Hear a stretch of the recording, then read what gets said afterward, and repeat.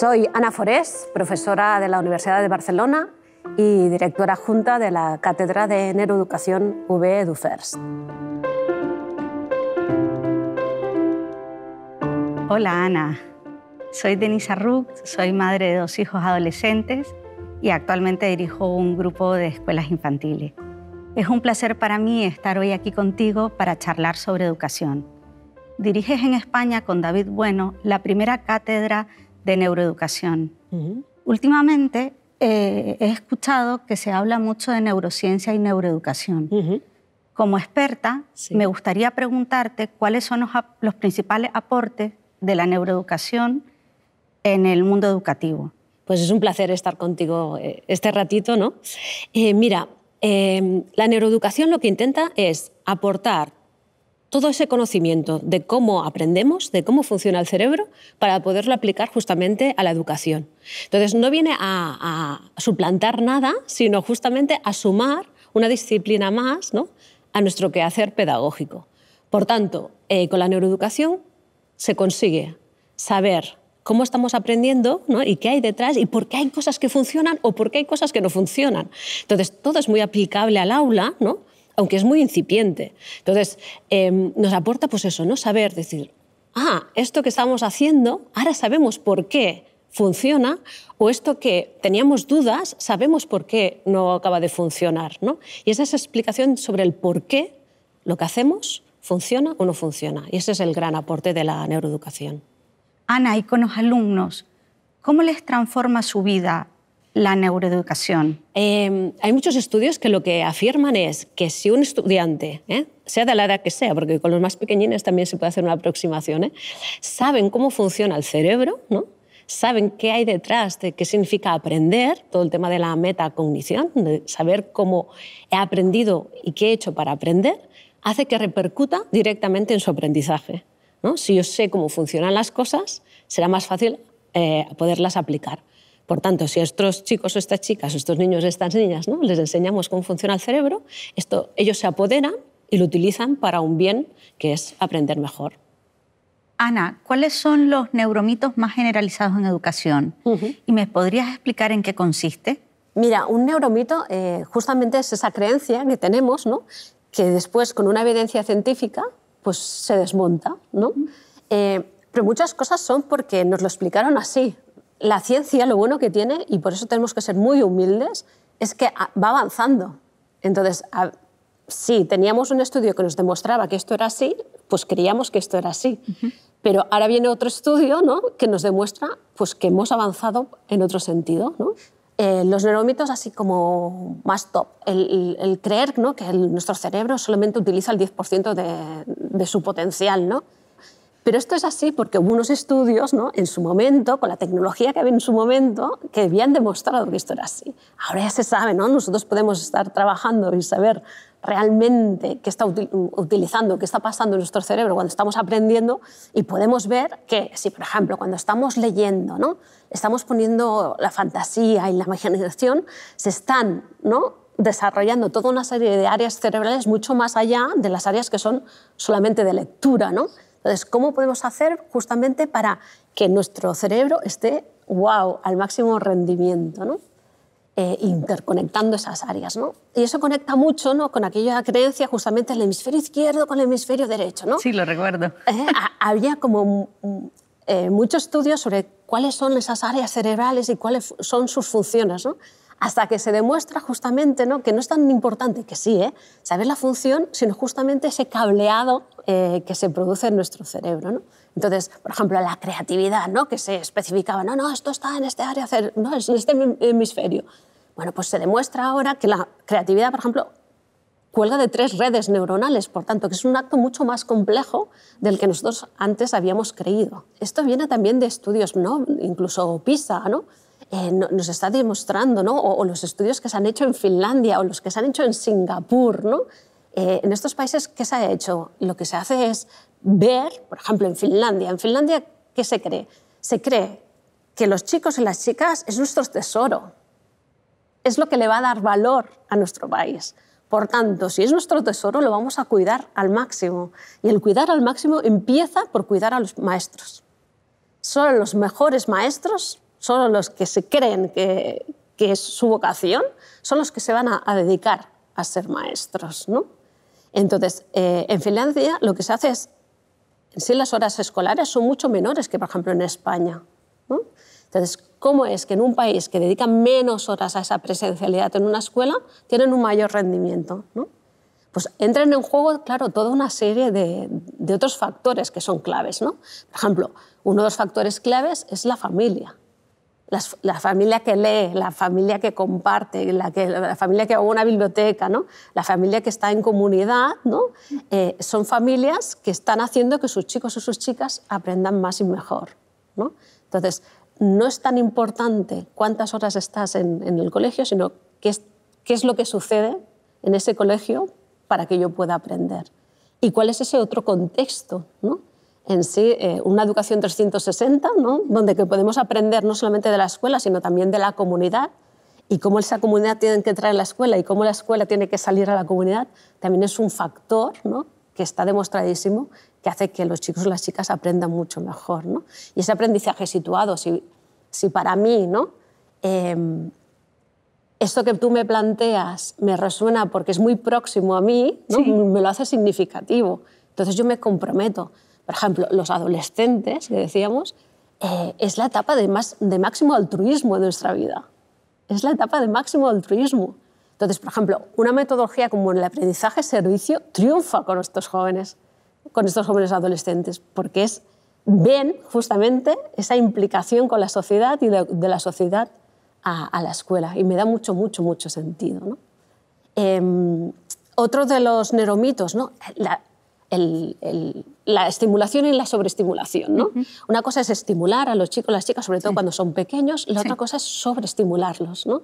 Hay estudios que nos están confirmando que, por ejemplo, unas aulas sobresaturadas, en vez de justamente provocar que nuestros chicos o nuestras chicas aprendan más, lo que hace es bloquearlos, porque se dispara otra vez el cortisol, ¿no? nos está estresando. Entonces, introducir cada aprendizaje en su momento es lo ideal. Eh, quemar etapas, o sea, introducir ¿no? conocimientos antes de llegar a esa etapa, es contraproducente. ¿sí? Porque nuestro cerebro está preparado en un momento determinado ¿no? y si lo forzamos a hacerlo antes, a lo mejor lo que estamos haciendo es que aprenda peor. Esa sobreestimulación ¿no? a veces también hace que, que creamos nosotros como maestros, ¿no? que tenemos que ir siempre ahí, como ir impactándolos ¿no? con, cosas, ¿no? que parece que la clase sea un show. Y no es, es, es, es siempre el equilibrio, ¿no? de saber cuándo has de introducir un elemento sorpresa o de cuando tienes que cambiar el tono de voz o cuando vamos a hacer justamente una actividad ¿no? de, de, movimiento. ¿no? Sabemos también que el movimiento es básico también para el aprendizaje. Entonces, cómo también trabajamos el cuerpo en el aula, que también nos hemos olvidado del cuerpo para aprender. ¿no? Eh, volvemos, cuando son pequeños sí, pero después cuando somos mayores nos olvidamos de ese cuerpo. ¿no? Entonces, traer el cuerpo al aula también es, es esencial. ¿no? O, o, por ejemplo, ¿no? Eh, el teatro, ¿no? Eh, con el teatro también podemos estar trabajando muchas competencias, podemos estar trabajando todas las funciones ejecutivas, o sea, eh, pensar mucho más allá ¿no? de lo que a veces pensamos que tiene que ser la, docencia. Hoy en día se cuestionan mucho las metodologías antiguas o los modelos antiguos de, de, de enseñanza. ¿Las clases magistrales tú crees que tienen algún sentido? ¿Funcionan actualmente para mejorar el aprendizaje de los alumnos? Mira, si, si, una clase realmente es magistral, y si decimos eh, que realmente es magistral, significa que son aquellos profesores o profesoras ¿no? que son apasionados, que le ponen curiosidad, que te quedas encandilado con la narración, ¿no? con lo que nos están explicando, eh, eso también podría ser una buena base educativa, ¿no? ¿no? tiene por qué ser malo. Eh, estas metodologías que ponen el énfasis justamente en, no solamente en cómo enseñamos, sino cómo aprendemos, o sea, el énfasis lo ponemos en el estudiante como protagonista, son las metodologías que nos ayudan justamente a aprender mejor. ¿no? Son metodologías activas, participativas, ¿no? donde el estudiante se siente que es el que lleva ¿no? las riendas de su aprendizaje. Como madre de adolescente, hablo con muchas familias y con muchos amigos y vecinos sobre lo que piensan del estudio después del colegio. Muchos de ellos me explican que piensan que sus hijos pasan demasiadas horas después del cole estudiando y sin embargo los resultados académicos no le acompañan. ¿Qué podemos hacer nosotros para ayudarle a estos chicos que no sientan esa frustración que les transmitimos diariamente los padres? La adolescencia es, es, una época maravillosa, es la etapa justamente de transformación ¿no? de, niño a adulto y que tiene una serie de, eh, de cambios, ¿no? ya lo vemos, físicos y hormonales, ¿no? pero también a nivel cerebral. ¿no? Hay una serie de, de ítems ¿no? que son muy interesantes desde la neuroeducación. ¿no? Y una primera es la singularidad cerebral. La singularidad cerebral lo que nos viene a decir es que cada cerebro es único. Por tanto, cada niño, cada niña son únicos. ¿no? Y eso lo que nos lleva es a decir, la educación es inclusiva sí o sí. ¿Por qué? Mm. Porque si somos únicos, ¿no? el cableado que hacemos a nivel cerebral es diferente de Pablo que de Inés que de Laura. ¿no? Entonces, cada niño va a traer su singularidad al aula y tenemos que trabajar con esa potencialidad ¿no? de cada uno de ellos. Y eso para mí yo creo que es como un antes y un después en, neuroeducación. ¿no? Eh, después, otras cosas que sabemos de la neuroeducación. ¿no? Nosotros lo que sabemos es esa plasticidad cerebral, esa plasticidad y también el poder de la neurogénesis, o sea, podemos seguir creando ¿no? nuevos enlaces ¿no? y, nuevas neuronas que nos van a traer un potencial para seguir aprendiendo ¿no? Eh, a lo largo de la vida. Por tanto, esa plasticidad cerebral también nos hace que, que los niños se adapten mucho más fácilmente de, de, de un sistema a otro, de, de una situación a otra, un contexto a otro. Y después también lo que sabemos es que tenemos esas ventanas de oportunidad, ¿no? esa poda neuronal que muchas veces ¿no? se, se conoce así, ¿no? Eh, esas ventanas de oportunidad que son esos estadios ¿no? Eh, temporales que son donde ¿no? estamos más abiertos a ese aprendizaje, ¿no? donde la carga genética eh, deja paso justamente más al contexto, ¿no? esos 0306, ¿no? que es una gran etapa para el aprendizaje, que nos va a pasar otra vez de 7 a 10 y nos va a pasar en la adolescencia. ¿no? Por eso cuando decíamos los adolescentes, ¿no? Eh, es, es, una etapa muy rica y sobre todo también es muy rica para aprender. Uno de los factores mm, más claves ¿no? en, en, nuestros adolescentes, por ejemplo, eh, en este redescubrirse ¿no? como, como, ser humano, es todo el tema del sueño. ¿no? Está demostradísimo ¿no? Eh, el poder ¿no? De, nuestro, de nuestro sueño que se queda retrasado en el tiempo. ¿no? Entonces, ¿qué hace? Que este adolescente se vaya a dormir más tarde, ¿no? se vuelven a convertir más, más en búhos ¿no? y se van a levantar también más tarde. ¿no? Entonces, eh, el sistema educativo, además, se lo ponemos un poco más difícil, porque encima les hacemos entrar antes al, al, instituto. Con lo cual, ahí tenemos, jugamos en desventaja. ¿no? Hay muchos estudios que están eh, confirmando justamente que retrasar un poquito, ¿eh? es que a veces es muy poquito, es media hora, a lo mejor es una hora, eh, llevan a rendir mucho más. Y además, eh, también como sistema educativo, a veces ponemos las asignaturas como más complejas, ¿no? Eh, justamente a primera hora, cuando ese, cerebro adolescente aún se está despertando. ¿no? Entonces ahí tenemos mucho trabajo por, por, hacer. También hay muchos estudios que nos confirman que estar muchas horas eh, en un colegio, en un instituto, no va a repercutir en más aprendizaje, sino es en la calidad de esas horas. ¿Qué hacemos cuando estamos en, en la escuela? ¿no? ¿Y, qué hacemos con esas horas de estudio? ¿no? Yo he leído eh, que tú eh, defines la resiliencia como la capacidad de convivir en incertidumbre y saber improvisar. Pero yo como madre me encuentro en una dificultad que no sé cómo explicarle a los jóvenes este concepto. Entonces, no sé cómo nos podrías explicar tú este concepto para todos los jóvenes que hoy nos están viendo. Muy bien.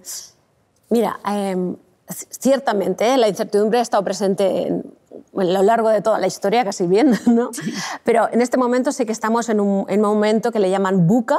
Eh, ahora hay algunos que ya le llaman bani. Ahora, ahora voy a explicar la diferencia entre buca y bani. ¿no? Buca es, es, ese contexto que todo es volátil, que todo es incierto. La U es en inglés, bica sería en castellano. Eh, esto es incierto, es ambiguo y es complejo. ¿no? Entonces, en un contexto así, ¿no? ¿Dónde nos podemos aferrar? ¿no? Em, pues nos podemos aferrar justamente a que ellos, cada uno de nosotros, sea el protagonista de su historia, que puedan ellos proyectar futuro, que ellos puedan generar esas respuestas. ¿sí? Em, hay autores que incluso en vez de hablar de buque ya hablan de Bani, y Bani sería la B, sería la, esa fragilidad, ¿no? Eh, una situación eh, como es una pandemia, ¿no? Nos hace vivir esa sensación de sentirnos frágiles, ¿no? De, sentirnos que nos podemos romper, ¿no? Em, la A es de, la, de, la, angustia, ¿no? la N es de, de la no linealidad. La no linealidad significa que yo pensaba ¿no? que eh, siempre la cosa sería así y ya vemos que, que hay muchos altibajos, ¿no? que, que, es difícil ¿no? prever el futuro mirando hacia atrás. Em, y la I justamente es, es, de esta incertidumbre que hay ahí. ¿no? Entonces, ¿qué les podemos decir a estos chicos o estas chicas? Les podemos decir que ellos, eh, si no podemos predecir el futuro, lo tenemos que crear. Lo tenemos que crear. Y sobre todo que, que no tengan miedo porque el miedo lo que hace justamente es o tirarnos para atrás ¿no? o luchar ¿no? o, escapar. Entonces, que no tengan miedo, que tengan confianza. Lo que les tenemos que dar es eh, ese entorno de confianza, de confianza en, que ellos pueden eh, crear ese futuro. Entonces, necesitamos chicos y chicas que sean súper creativos, que sean súper críticos y, que lideren justamente eh, el futuro. Y esos mensajes de todo irá mal, ¿no? Eh, eh, una expresión muy de ellos que es fatal, todo fatal, sí, ¿no? Sí, sí, les encanta. Eso es fatal. Yo ahí le, también a mis hijas les, les, pongo mucho, ¿no? Porque digo, cuidado con ese fatal, ¿no? Porque si yo creo que es fatal, es más fácil tirar la toalla. ¿Quién te dice que sea fatal? Sea diferente. Cada, cada generación es diferente. Entonces, ahora necesitamos herramientas o recursos para liderar y lidiar con lo que tenemos ahora. ¿Sí? Entonces, fatal, ¿por qué tiene que ser fatal? Será otra cosa. Será diferente. Será diferente. Y me llama mucho la atención que cuando habla de resiliencia, habla de la metáfora de los patitos feos y los cisnes negros. ¿Cómo a través de esta metáfora nos podría explicar qué es la resiliencia? Mira, eh, hay un concepto clásico de resiliencia, ¿no? que es esa capacidad que tenemos delante de, una adversidad, ¿no? de salir fortalecido o transformado. O sea, siempre la resiliencia la tenemos que entender como esa metamorfosis ¿no? de transformación, de, de, de, prosperar delante de, esa adversidad. Em, la idea de patitos feos y cisnes negros, patitos feos eh, hace alusión justamente al, cuento de Hans Christian Andersen, ¿no? pero también hace alusión a Boris Cyrulnik, que es el gran referente en resiliencia, ¿no? que uno de sus primeros libros fue justamente Los patitos feos. ¿no? Y los cisnes negros hace referencia justamente a, a Taleb, con su libro de los cisnes negros, que también no deja de ser una metáfora. ¿no? Un cisne negro eh, cuando el mundo no estaba globalizado, ¿no? Eh, se pensaba que todos los cisnes eran blancos porque lo que se veía eran cisnes blancos, ¿no? hasta que hubo una expedición que llegó a Nueva Zelanda y vio que habían cisnes negros. ¿no? Y de ahí la metáfora de aquello que parece improbable y que acaba sucediendo, ¿no? eso es un cisne negro. ¿no? Em, muchas cosas que nos han pasado ¿no? Eh, son cisnes negros, ¿no? por ejemplo, algún tsunami que no estaba previsto, ¿no? la crisis económica del 2008, ¿no? ciertas pandemias ¿no? indican ¿no? que son hechos que son inesperados, pero que acaban sucediendo. ¿no? Em, entonces, la, la, resiliencia ¿no? la podemos también abordar conjuntamente con la neuroeducación. ¿no? Hay muchas cosas que se unen ahí entre resiliencia y neuroeducación. Y la resiliencia también la podemos entender como esa generación de oportunidades. ¿no? La resiliencia como eh, ese sí a la vida, ese engancharse a, querer eh, proyectar vida, ¿no? proyectar futuro. Eh, la resiliencia entendida como esa capacidad que tenemos, por tanto, hay una parte innata, pero no estamos determinados genéticamente. ¿no? En sí, la resiliencia, ¿qué es? Es el realismo de la esperanza. Es el realismo, por tanto, es entender pues, que estamos en la situación que estamos, ya sea una enfermedad, una separación, ¿no? Eh, lo que fuere, ¿no? Eh, y hay que proyectar futuro, siempre hay que proyectar futuro. Por eso es el realismo de la esperanza. ¿Y la neuroeducación utiliza la resiliencia para que los jóvenes puedan aprender mejor? Mira, entre resiliencia y neurociencia eh, hicimos este estudio con, con Jordi Granet y lo que vimos es que hay muchos elementos que, convergen, ¿no? que tienden puentes entre resiliencia y neurociencia. Por ejemplo, eh, las dos estudian los vínculos. ¿no? tener un vínculo seguro y sobre todo de 0 a 3 años es fundamental, fundamental para la vida, para la resiliencia y desde el punto de vista de la neurociencia. ¿no? Eh, otro elemento que tienen en común justamente es el estrés, ¿no? Como vemos ¿no? El estrés como un factor ¿no? que tenemos que trabajar en resiliencia, pero también desde la neurociencia. ¿no? Otros factores son las emociones. ¿no? Las emociones le tenemos muy clara desde la neuroeducación, su papel, ¿no? su papel importantísimo para aprender, y la resiliencia también, ¿no? la autoestima, como la confianza, ¿no? como, como elementos clave justamente para, para poder ser resilientes. ¿no? Y después ya a, nivel más superior, toda la importancia de las funciones ejecutivas, la mentalidad de crecimiento, ¿no? el, poder tomar decisiones y sobre todo proyectar futuro. Por tanto, hay muchos lazos entre resiliencia y, neurociencia. Ana, tú hablas mucho de la palabra asertividad. Y a mí me gustaría que me explicaras en qué consiste la asertividad y realmente como docente, cómo podemos trabajar este término con nuestros alumnos? Mira, la asertividad es esa danza entre el tuyo y el yo, ¿no? el, poder eh, decir ¿no? las cosas que siento, pero sin herir, ¿no? ni, sentirme yo herida. ¿no? Eh, es un derecho y un deber. ¿no? Es poder expresar realmente lo que siento, ¿no? pero sin agredir ni ser agredida. Entonces, eh, muchas veces, claro, esto, sobre todo en adolescentes, ¿no? que hablábamos antes, eh, a veces cuesta, ¿no? Porque el qué dirán, ¿no? Y, si digo esto, ¿qué pensarán de mí, ¿no? Y ahí entran en juego toda una serie de factores que hace que muchas veces nos cueste ser eh, asertivos, ¿no? O estamos muy centrados en el yo-yo, ¿no? En, en, mi posicionamiento y por tanto soy muy agresiva, ¿no? O estoy muy centrada en el tú-tú, me preocupas mucho tú, pero me descuido yo, ¿no? Y entonces soy muy pasiva, ¿no? Y la asertividad justamente es ese equilibrio entre el tú y el yo, ¿no? Eh, por ejemplo, muchas veces cuando hablamos de asertividad nos fijamos en, el saber decir que no. Y a veces cuesta mucho saber decir que no. Em, uno de los ejercicios que se puede hacer justamente es permitir al otro, ya cuando le formulas una demanda, permitirle decir que no. Por ejemplo, si ahora yo te, tuviera que pedir un favor, estamos trabajando juntas, ¿no? Y te tengo que pedir un favor, yo te puedo decir, Denise, ya sé que no te toca o ya sé que no, no es tu tarea, pero mm, te pediría que, y te hago la expresión de lo que necesito, ¿no? O cuando te lo digo, te digo, eh, ya sé que no. Tú ahí tienes como más libertad justamente para decirme, mira, Ana, me gustaría, pero no puedo. Y yo no me siento herida, porque yo ya te he dado permiso para eso, ¿sí? Entonces, ese saber decir que no muchas veces es también permitir que el otro nos pueda decir que no. ¿sí? Em, y analizar también qué hay detrás de ese sentimiento de cuando yo digo que no, es que estoy hiriendo a alguien. ¿no? Si digo que no, voy a quedar mal con alguien. ¿no? Y sentirte legítimo ¿no? de decir, mira, eh, esta es la situación y necesito ese sí o necesito ese no. ¿no? Y durante este tiempo que yo he venido leyendo todos tus libros, tú hablas mucho de la empatía y la compasión. ¿Tú crees que como directora de una escuela infantil con niños de 0 a 3 años, yo puedo trabajar desde edad temprana mm. la empatía y la compasión y cómo lo podría hacer, qué técnicas podría utilizar y cómo me podrías tú ayudar a desarrollar esta parte tan importante? Sí, porque además eh, por modelaje seguro, ¿no? Por ejemplo, hay un estudio muy interesante em, que se coge a, unas personas así, vamos a entrevistar, ¿no? Em, y esa persona cuando llega, ¿no? Se, choca con una persona y tal, ¿no?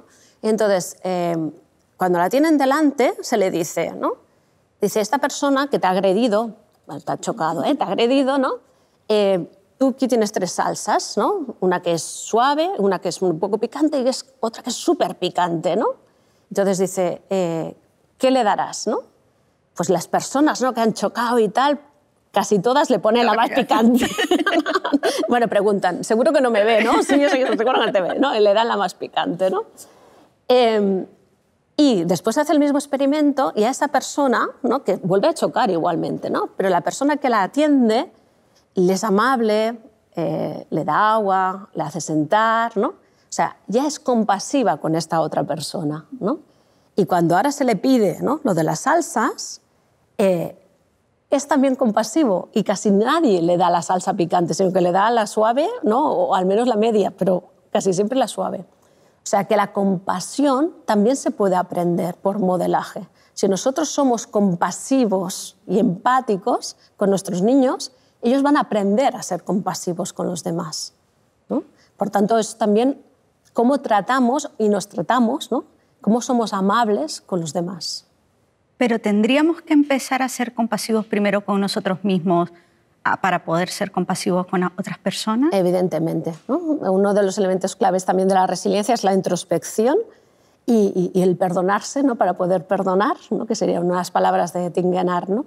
Evidentemente tenemos que ser compasivos con nosotros mismos y empatizar con, el, con los demás. Ana, ¿cómo podemos favorecer la autoestima de los niños y de los jóvenes? ¿Y cómo esta puede favorecerle en el aprendizaje? Eh, realmente, desde claro, los más pequeños fácilmente, pues, o, con juego simbólico, o con cuentos, ¿no? con personajes, con personajes también que les identifiquen, ¿no? también pues, eh, por la manera de ser, ¿no? por ejemplo, si tenemos algún tipo, tipo de diversidad funcional, pues que también quede reflejado. ¿no? Ahora cada vez más hay juegos ¿no? o hay muñequitos pues con, yo qué sé, que le falta un brazo, ¿no? para que haya niños también que si están en esa situación se sientan identificados, ¿no? que vean un modelaje ¿no? también para, para después proyectar ¿no? Eh, o proyectarse ¿no? en, su imagen de, de autoestima. ¿no? Cuando son más grandes, pues claro, hay muchas dinámicas justamente ¿no? pues de, de mirarse en el espejo, de reconocerse, Em, de proyectarse en el futuro. ¿no? ¿Qué le dirías a tu tú ¿no? de dentro de cinco años? ¿no? O escribirse una carta para final de curso y entonces leen esa carta a final de curso de cómo empezaron el curso y cómo se ven ahora. ¿no? Y, por tanto, la autoestima también llama mucho a esa introspección ¿no? y a ese quererse, a quererse tal como somos. Somos únicos y por tanto nos tenemos que querer así, tal como somos. ¿Y qué te parece de introducir el juego pero incluso en aulas de los jóvenes, no solamente en educación infantil. ¿Qué opinión tienes sobre ello? Mira, la actitud lúdica es esencial. ¿no? Eh, Francisco Mora nos dice, ¿no? el juego es el disfraz del aprendizaje, o sea, que es la manera, una de las maneras naturales de, de aprender. O sea, los niños juegan, pero juegan porque están aprendiendo, o sea, es a través del juego que están aprendiendo. La gamificación, la actitud lúdica en el aula es esencial para aprender en sí, cuando estamos en una actitud lúdica, ¿no? estamos favoreciendo ese aprendizaje, ¿no? tenemos más ganas de aprender, tenemos esa curiosidad, nos, nos reta, ¿no? tenemos ese efecto de, de, permitirnos ser. ¿no? Cuando, cuando jugamos eh, nos permitimos ser tal cual, ¿no? porque estoy en ese papel ¿no? de, de, jugador. Entonces, todas las estrategias de gamificación eh, están demostradísimas ¿no? que potencian el aprendizaje. Entonces, muchas veces pensamos que, jugar no es cosa seria, ¿no? Y justamente como el humor, ¿no? Eh, es esencial para poder aprender, ¿no? Eh, si introducimos pequeñas gamificaciones, no tenemos que gamificarlo todo, ¿no? Pero pequeños elementos gamificadores, en lo que estamos es captando la atención, trabajando la curiosidad, ¿no? Eh, retándonos con ese pequeño punto de estrés pequeño para, para engancharnos, podemos estar trabajando colaborativamente entre equipos. ¿no? O sea que hay muchas, em, muchas ventajas de la gamificación dentro del aula. ¿Y tú crees que meter la gamificación en el aula ayuda a los jóvenes a resolver conflictos y también a fortalecer su autoestima? Claro, es cómo utilizamos ¿no? la gamificación, igual que las tecnologías. Las tecnologías no son ni buenas ni malas, sino es el uso que hacemos de esas tecnologías. ¿no? Pues con la gamificación también. Primero, como maestros nos lo tenemos que creer. Eso es importante. Si yo no me creo, ¿no? nada, ¿eh? si yo no me creo el poder de trabajar en equipo, yo no, yo no voy a hacer trabajar en equipo. ¿no? Si yo no me creo la gamificación, yo no me voy a poner a gamificar. ¿no? Entonces, lo primero que lo tenemos que tener claro somos nosotros como maestros y maestras. ¿sí? Em, y evidentemente, si yo utilizo bien esa estrategia, por tanto es ese dominio de la, de la, estrategia, podemos trabajar muchas cosas. Puede ser la empatía, como tú decías, puede ser la resolución de conflictos, pero también puede ser eh, pues la toma de decisiones, que es una función ejecutiva, ¿no? Eh, y muchas otras cosas. O sea, a través del juego ¿no? podemos estar trabajando muchas competencias, ¿no? ahora que el saber ha de ser competencia, podemos trabajar muchas competencias que a lo mejor de otras maneras nos es más complicado, más complejo. ¿Y existen otras formas de juego que podamos introducir en el aula que nos puedas compartir o citar para enriquecer un poco el trabajo diario? De estrategias podemos hacer desde pequeñas cositas, ¿no? Eh, a veces, yo que sé, ahora, ¿no? Con las tecnologías, pues un Kahoot, un Socrative, un Mentimeter, ¿no? O sea, pequeñas estrategias así. Pero también podemos gamificar toda una asignatura o gamificar todo un ciclo. Podemos trabajar eh, con los diferentes profesores, las diferentes materias, todas integradas en un gran proyecto y todo eso gamificado. O sea, hay cosas verdaderamente increíbles. Pero claro, ahí es lo que nos atrevemos a hacer, ¿no? Si hacemos una, pequeña acción, ¿no? Que sabemos que en ese momento pues despertamos la curiosidad, despertamos la atención, o hacemos un escenario justamente ya gamificador. Bueno, yo creo que con tu libro lo que nos invita es a dar pequeños pasos y, y, probablemente a medida que vas disfrutando y vas disfrutando a tus alumnos con estas nuevas técnicas, te vas implicando más y ya te tiras a la piscina a hacer un ciclo eh, completamente gamificado. Yo por lo menos tengo muchísimas ganas de estudiar con este, esta nueva visión de neuroeducación. Para concluir, ¿qué crees que es lo más importante? Preocuparnos por cómo aprender o cómo educar? Es una pregunta muy, muy, muy interesante, ¿no? porque es donde focalizamos la mirada. Focalizamos la mirada en el papel del docente, del maestro, ¿no? del que enseña y nos centramos en cómo enseñar, ¿no? o nos centramos más justamente en el que aprende. ¿no? Bueno, aprendemos todos en sí, porque quien enseña también aprende, ¿no?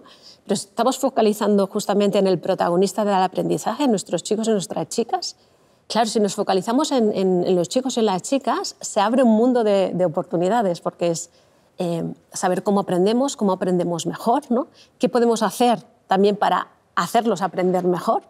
Y ahí también saber la oportunidad de, que como docentes ¿no? intercambiemos experiencias o cooperemos eh, como docentes. ¿no? La cooperación entre profesores se ha demostrado que es una de las herramientas increíbles para hacer que los chicos aprendan mejor. Entonces, cooperemos también ¿no? y nos centremos justamente en facilitar que nuestros chicos y nuestras chicas sigan aprendiendo y de la mejor manera posible. Ay, muchísimas gracias, Ana, por tu generosidad, por compartir todos tus conocimientos en esta entrevista y por todas las herramientas prácticas que has proporcionado para ponerlas ya en práctica mañana. Un placer, Denis. Ha sido un gusto tenerte aquí.